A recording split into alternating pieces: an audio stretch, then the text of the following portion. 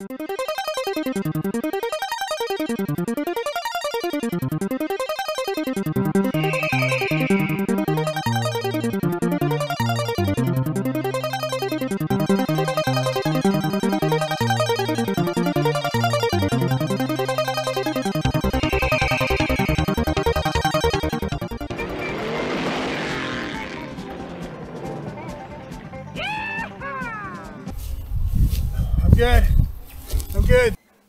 what's up, shitheads? Welcome back to the channel. Today, we're going to be taking a look at the Engwe M20. I've heard people refer to these style of bikes in a few different ways, either called moped style, moto style, or cafe racer style. So I'm not really sure what the technical term is. Either way, I think it's all just a way to describe these bikes that have the 20 inch fat tires and more of a motorcycle look. And as of right now, this bike starts at a price of $999 for the single battery version or $1,199 for the dual battery version you see here. But what do you say we take a closer look at it and then we'll go take it for a test drive? Does sound like a good time to you guys? Yeah, come on guys, let's get right into it.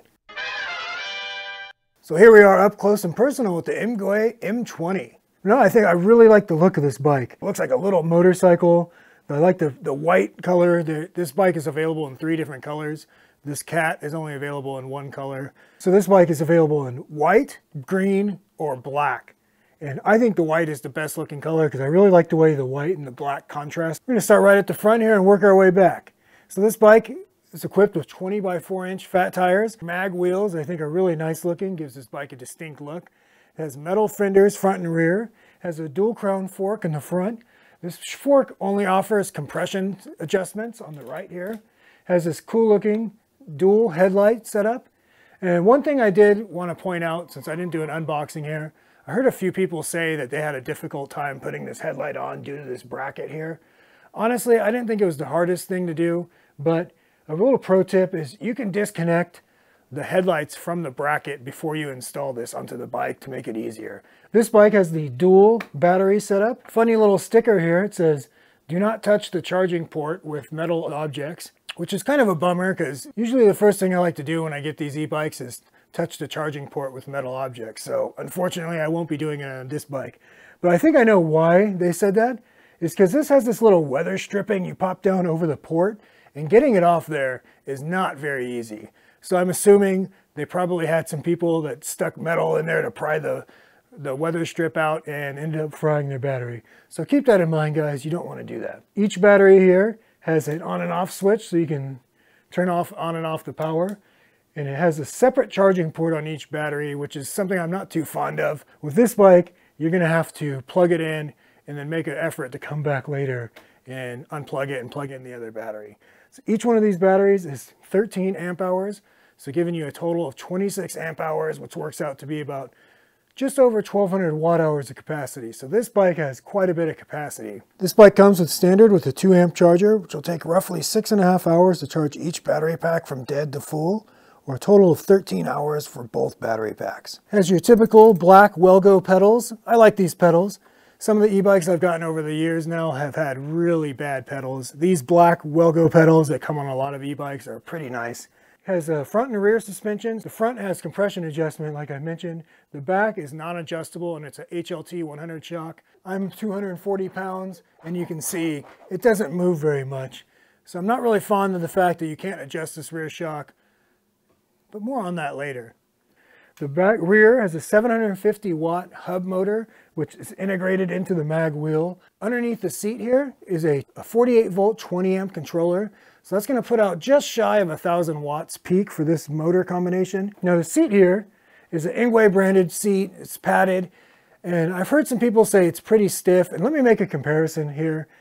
Yes, this is a stiff seat and it's non-adjustable. And unfortunately, if you do want to change it to an aftermarket seat, there's not going to be options because this seat is bolted to this frame in a proprietary fashion. So I saw a video where a guy rigged up his own seat, but Unfortunately, you're going to have to live to learn to like this seat, and I, I, think it's fine. It Has a rear integrated tail light, also works as a brake light when you hit the brake handles. The Engwe M20 comes equipped with 160 millimeter mechanical disc brakes front and rear. I would have liked to seen at least hydraulic disc brakes on this bike and probably 180 millimeter rotor. Up here in the cockpit, we have these like rubberized filling grips. It has a full twist throttle, which is pretty unique. It's the first e-bike I've seen with a full twist. It has these unbranded mechanical disc brake levers here. They feel okay, not the worst. Has these BMX style handlebars and everyone's absolute favorite Shimano 7-speed shifter here. So to turn on the bike, you press, hold down the top button here, and as soon as the bike comes on, there's going to be the running lights are always on on this bike. So this display gives you the basic information you're going to need. Has your speedometer, pedal assist level here. To toggle through pedal assist, you press the up and down buttons here on the bottom. Uh, this took me a bit to get used to because typically e-bikes will have the pedal assist selector right here. So I found myself while I'm riding pressing the horn or turning on and off the light on accident. So toggling through the pedal assist levels is going to take you a little bit to get used to on this bike. So tapping the power button here will go through your memory settings here. But all, in all, this is a pretty basic display, gives you everything you need, but no extra information. Ideally, I'd like it if this display showed the output wattage and if it showed the voltage on the battery. But overall, this, is, this display is fine. Turn on and off the headlight, you press the headlight button here, and it has a horn. Now, Engwe claims this bike weighs 94 pounds with a single battery and 104 pounds with the dual battery. While it does feel heavy as all e-bikes do, I find that this with the form factor of this bike, it's easier to handle than some bikes that are lighter than this but are bigger and bulkier. So yes, this bike is heavy, but I have no problem moving it around. I'm six foot two, and here's what I look like sitting on this bike. This bike is not the most ergonomic for pedaling, which is why I found myself, right when I was riding this bike, I was mainly doing throttle. But here's what it looks like. It was a comfortable riding it, it's just not the most comfortable pedaling. So check this out. This is a 26 inch BMX style bike. You don't get a bike like this because it's ergonomic or fun to ride long distances. You get a bike like this because it looks cool and it's fun to ride. And that's exactly what the Engwe M20 does. It looks cool and it's fun to ride. So I find it more comparable to riding a BMX style bike rather than trying to do a cross country or comfortable cruising or touring style bike. Don't I look cool right now? Now we've gone over all the specs and features of the Engwe M20. What do you say we go do the fun part and take it for a ride? Come on guys, let's go. All right guys, we are out on the Engwe M20 and the first thing you want to do is switch this from kilometers per hour to miles per hour. This ships by default at kilometers. So what you want to do is press the plus and minus button at the same time. It's going to bring you to the menu. Toggle through using the plus button to P4. Tap the power button and you're going to change that from 0 to 1 and that's going to get you to kilometers per hour. And now we're ready to go. Let's see how the pedal assist settings work on this bike. So we're in pedal assist 1 now and I'm noticing the power definitely gradually ramps in with this, with this bike. It's not going to just hit right away. So pedal assist 1 goes up to 15 it's like pedal assist 2 goes up to 18. So pedal assist 3 goes up to about 21. Pedal assist 4 is giving us assistance up to about 25. And 5 is going to take us the rest of the way up to a top speed of 28. Something I do want to point out with this pedal assist system here, there's quite a big delay between when you're pedaling and when the assistance actually kicks in. So it's like a few seconds. This is like this bike has the most delay between pedaling and power that I've ever felt. From a dead stop, it feels like the power kicks in faster than it does when you're already when you're already moving. But the power doesn't come in automatic right away. It really eases in, it really ramps in. So maybe that's why it's not as easy to notice when you're already moving. With that being said, I found myself using the throttle more because there's a very, there's a little delay on the throttle, but it's not much at all. So I find myself using the throttle for a second or so while I'm pedaling and then it catches up. First time I used a full twist throttle on an e-bike, I wasn't sure how I'd like it based on, you know, hitting bumps and worrying about my hand moving positions, but I, I think it's fine. This bike has a 750 watt rear motor, peaks around 1,000 watts, I think it's rated at 55 newton meters of torque, and that's exactly what it feels like. It's not going to blow you away with power, but uh, it's quick enough to get you moving. And if you guys are noticing, you can hear the brakes squealing. And unfortunately, every bike I've ridden with mechanical brakes, for some reason or another, it seems like they squeal But more on the brakes in a minute. Wanted to point out a super random thing that happened to me on this bike. And the tip of the kickstand broke off. I don't actually remember this happening. I know I just went to put it down once and it was gone. So I could have hit something. I don't know how it happened, but the tip of the kickstand is now missing. Yeah, that's a first. So this has got the 20 by 4 inch fat tires. And uh, I've ridden a couple bikes with these on them now. And I have to say, I'm liking them. They're better for these smaller form factors, that's for sure, on these little moped style bikes. Kind of zip around a little more. And well, this bike is rated, I believe, at 100 pounds with both the batteries. It doesn't feel that heavy at all. I was able to pick it up, and maybe it's because it's smaller and you can get a grip on the frame easier. But I don't have much of a problem moving this bike around. Well, let's do give it the rock test here.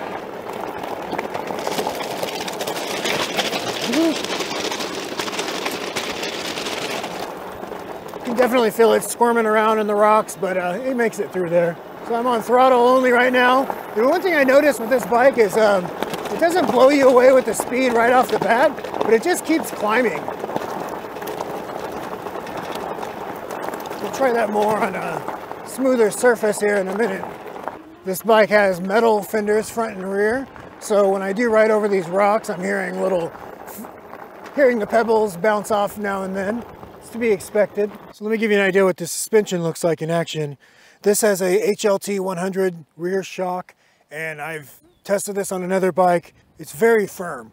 As a matter of fact, I don't know what how much travel it's rated at, but you can see here, I'm 245 pounds, and if I just slam down on it, it's not moving very much.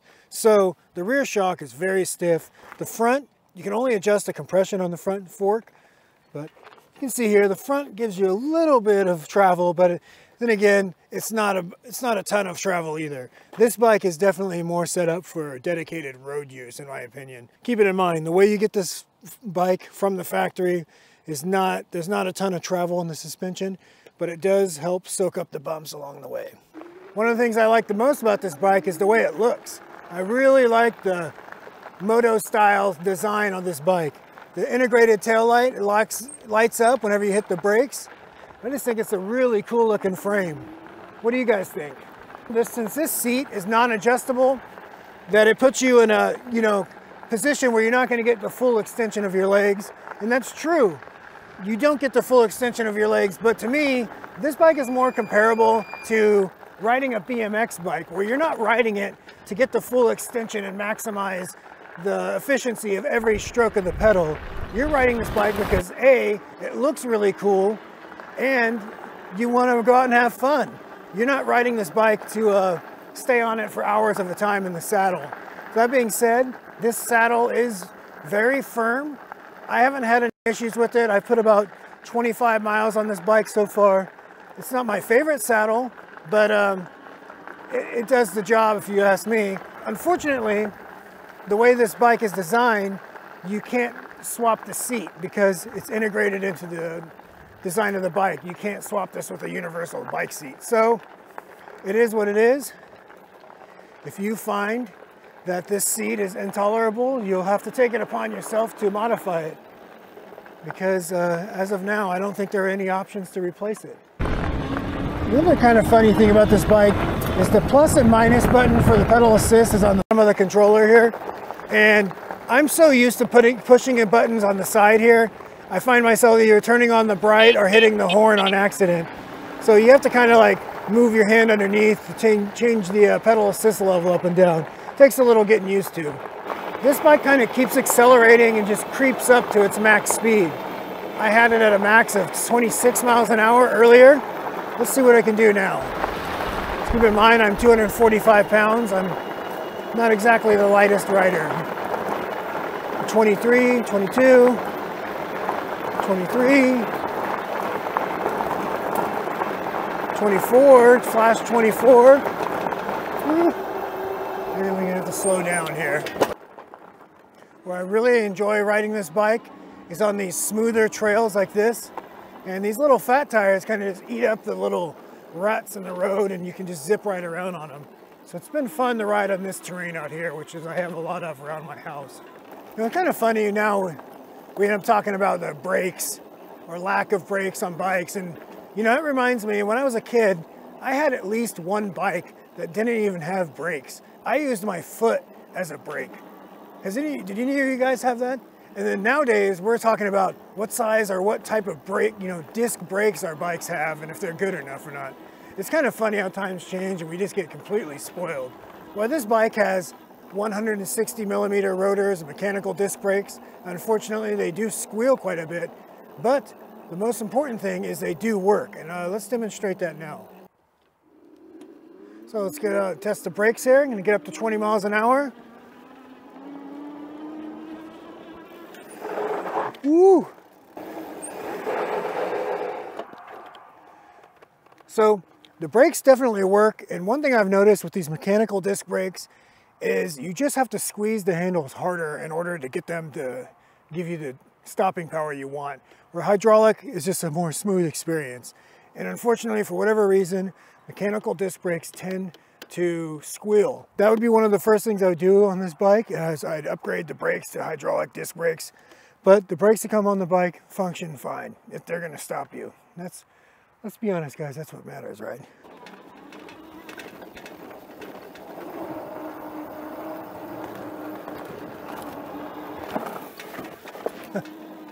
We'll see how well the Engwe M20 does on the street. Know, currently this bike's listed at $11.99 for the dual battery setup and $9.99 for the single battery setup. I think that's a fair price.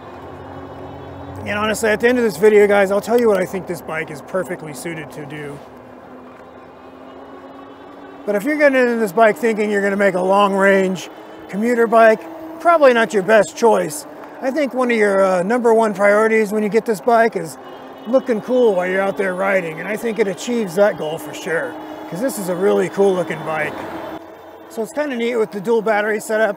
There's a battery blender that's set up in the back, so it draws power from each battery equally.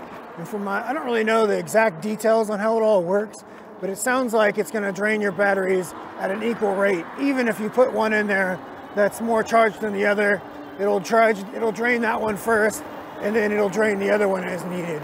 So that's kind of a neat thing. Is that guy looking?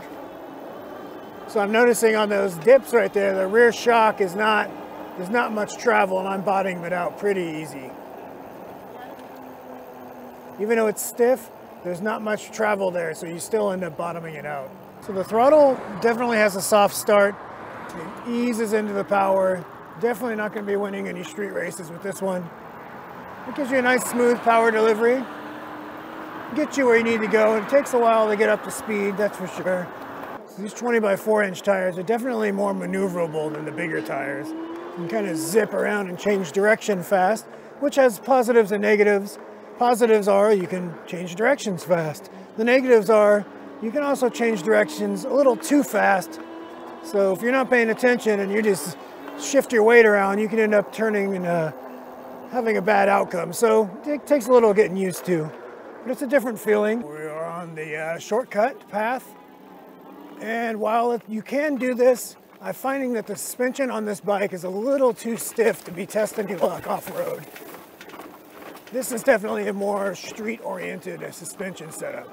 I would still take this path, but you, uh, you're gonna wanna choose your, you're gonna wanna choose your path wisely and not end up in uh, some place you're gonna regret. Because while this does have rear suspension, this bike more rides almost like it's a hardtail. Very firm.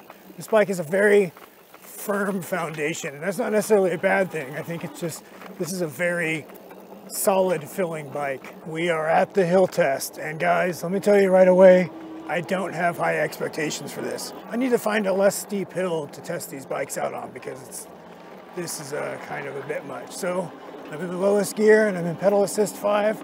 Let's see how the Engwe M20 does. Already it's struggling. Now I am up out of the saddle right now. You know what guys, I'm gonna I'm gonna try and stick with this one the whole way. All right, back down in the saddle, still going, I'm cranking away though. It is not easy, easier than if it was a regular bike. All right, we're still in the saddle, still going. Woo! Burning. Stand back up. And we made it. If hill climbing's your number one priority, the M20 is probably not going to be for you. What do you girls think of the Engwe M20? It's a nice looking bike, right? All right, you ladies have a nice day. So there you have it. This has been the Engwe M20. Now overall, I really like this bike. Aesthetically, this bike looks awesome. I like the dual headlights. It's got plenty of capacity with the two battery packs. Mag wheels look great. Some things I don't like so much about this bike, I'm not a fan of these mechanical disc brakes. The rear shock is extremely stiff, making for a not so pleasant ride. And the pedal assist system on this bike leaves quite a bit to be desired. With that being said, I think this bike, especially at the price point, makes an attractive offer for people who want to buy this style of bike and then modify it from there. As a matter of fact, that's exactly what I'm going to be doing. I've already ordered a hydraulic disc brake kit an upgraded rear shock, and I'm going to be doing what's known as a shunt mod to get about 1500 watts out of the controller on this bike. But keep in mind, if you do that yourself, you're definitely going to avoid the warranty.